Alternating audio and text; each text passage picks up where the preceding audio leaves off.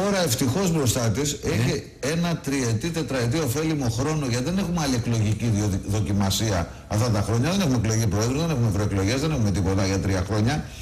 Άρα, με δεδομένο ότι είναι συγκροτημένη η κοινοβουλευτική δύναμη η Νέα Δημοκρατία και θα συμπράξει με όλες τις δυνάμεις που έχουν ευρωπαϊκή πορεία και έχει τη διάθεση και την εγγύηση ότι το έχει κάνει και στο παρελθόν και έχουμε συνθέσει όλα αυτά, θα έχουμε και τρία χρόνια μπροστά μας η χώρα να ξέρετε το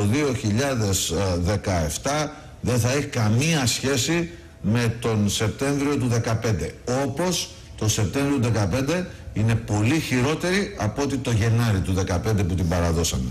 Εκεί οφείλεται και η αλλαγή του κλίματος ή επειδή είστε κεντρός; Καταρχήν να σας πω ότι πράγματι όταν α, ανέλαβα και μου έκανε την τιμή ο κ. Σαμαράς η Νέα Δημοκρατία δεν ήταν στα καλύτερά της και ψυχολογικά αν θέλετε δεν είμαστε. Πιστεύατε ότι θα γυρνούσατε το μάτσα. Ε, πίστευα ότι θα το γύριζα, αλλά πίστευα ότι θα το γύριζαν οι εκλογές γινόντουσαν πολύ πιο μετά. Δεν πίστευα ότι θα το γύριζα τόσο γρήγορα.